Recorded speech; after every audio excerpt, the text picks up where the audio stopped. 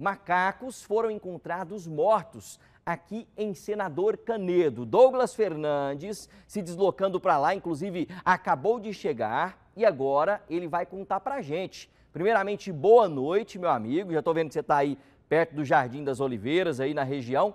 Que história é essa? O que está por trás disso? Boa noite, Branquinho. Boa noite para o pessoal de casa. Na verdade, é um grande mistério que envolve a morte desses primatas aqui na, na, cidade de Senador Canedo. Nós estamos bem aqui na entrada da cidade, ao lado do morro, aqui nesse monumento extra, extraordinário da cidade de Senador Canedo, que foi bem pertinho daqui que um dos primatas foi encontrado e um outro a 3 quilômetros daqui. Esse primata que foi encontrado no sábado, ele estava com alguns traumas e isso vai ser investigado agora pela Secretaria de Saúde aqui de Senador Canedo. A Isabela Lauria está aqui comigo, ela que é a chefe de bem-estar animal da secretaria e vai contar mais detalhes para a gente porque é um mistério ainda a morte desses primatas e a secretaria se mostra muito preocupada com essa situação. Boa noite. Boa noite. É, nós estamos muito preocupados porque os animais podem ter sido vítimas de maus tratos e a gente quer ressaltar que, mesmo com os casos de doença sendo investigados no estado de Goiás, o animal ele não é o reservatório da doença, né? A gente tem medo que a população associe a doença ao animal. Aqui na entrada, inclusive, existem imagens de segurança que possam ter captado o que teria acontecido com esse primata, com esse macaco aqui bem próximo onde nós estamos. Né? Exatamente. O animal ele foi encaminhado para o centro de zoonoses. A doutora Gisele, que é veterinária do centro de zoonoses, fez a necrópsia do animal para a gente investigar a causa da morte. O laudo demora de cerca de três semanas para ficar pronto.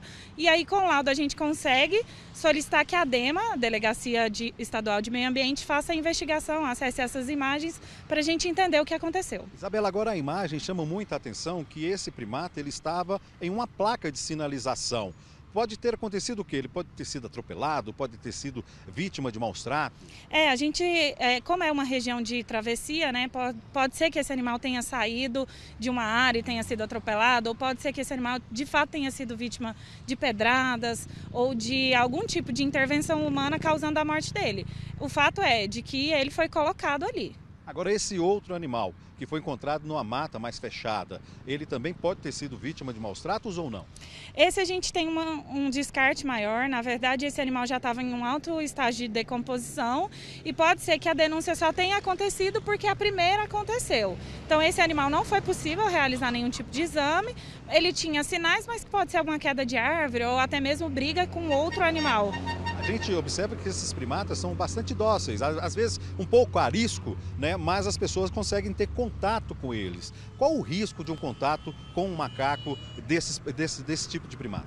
É, a gente alerta porque existem muitas doenças que circulam e que podem de fato ser transmitidas. A gente tem a raiva, que é uma doença de mamíferos que pode circular, ela é transmitida por arranhões. A própria varíola, ela, ela só seria transmitida se o animal tiver contaminado e existir um contato. Então a gente pede que a população não alimente, não chegue perto desses animais, mantenha esse animal no ambiente dele e se há o menor sinal de macaco morto, algum animal nesse sentido, pode acionar a AMA e a Secretaria de Saúde. A senhora entrou num detalhe muito interessante que esse primata pode ter sido é, atropelado. Né? Lógico que a pessoa vê um atropelamento como esse, bate aquela né, angústia, pega o animal e coloque ele na, nas margens da rodovia. Mas isso também é perigoso, esse contato manual com o animal depois de um acidente como esse? É, é perigoso, né? Porque existem algumas doenças que podem ser transmitidas por mucosas, por feridas abertas. Então, se você tiver com um arranhão e encostou nesse animal, isso é perigoso. Sempre a gente orienta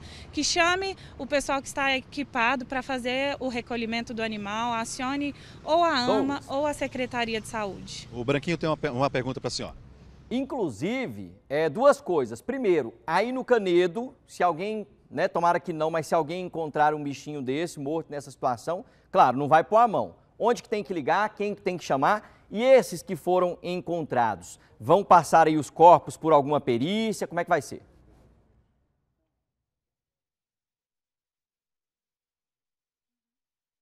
É, é, se encontrar algum animal, foi isso, né? Ele perguntou se encontrar. Bom, se encontrar macaco morto, morcego caído, a gente pede que acione as zoonoses pelo telefone 99221 2559. Vamos repetir? 99221 2559 ou até mesmo a AMA, que pode fiscalizar também o, esse tipo de situação, pelo telefone 3512 1512. E esses é, animais vão passar por uma perícia. Isso, é. Os animais, um dos animais, na verdade, a gente já fez o recolhimento, é, fez a necrópsia, né, a avaliação desse animal. O material patológico foi encaminhado para análise e quando a gente tiver o laudo, a gente consegue dar sequência nessa questão. Olha, muito obrigado pela participação e a gente espera, né, que não sejam vítimas de maus tratos esses dois primatas que foram encontrados mortos aqui em Senador Canedo neste fim de semana, o Branquinho, e fica o alerta então para que as pessoas tomem cuidado, mesmo assim, em ter esse contato com esses primatas. Agora, amigo, só mudando um pouquinho é, do foco dessa entrevista, e inclusive a Isabela está aqui, ela está um pouquinho até agasalhada que ela está aqui com esse colete. Só que nós estamos na parte alta de Senador é, Canedo. Eu chego que estou arrepiando aqui, que está batendo um frio, meu amigo. Está batendo um friozinho aqui, viu? E a temperatura deve cair ainda muito mais a partir de agora até a madrugada, viu? É, e aí é, é, é, perto do morro, né? Aquela parte até turística, um ponto turístico lindo de Senador Canedo. Muito obrigado, Douglas Fernandes. Obrigado também pro pessoal da AMA lá de Senador Canedo. E um beijão para a turma do Canedão, a galera sempre ligada aqui na tela do Cidade Alerta. Audiência altíssima.